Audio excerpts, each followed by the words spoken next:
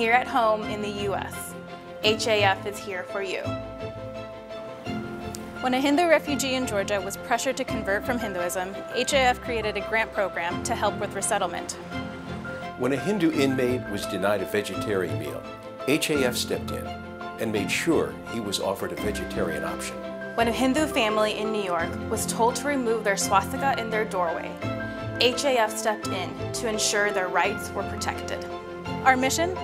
To ensure the well-being of all Hindus and of all people by creating programs that build and strengthen communities and relationships.